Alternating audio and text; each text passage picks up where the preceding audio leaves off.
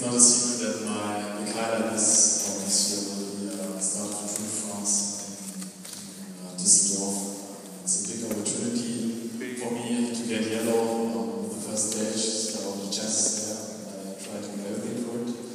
Um, this is the highlight, uh, the big, highlight, uh, probably for the rest of, my career, to be honest, because I know it's a, it's a chance that one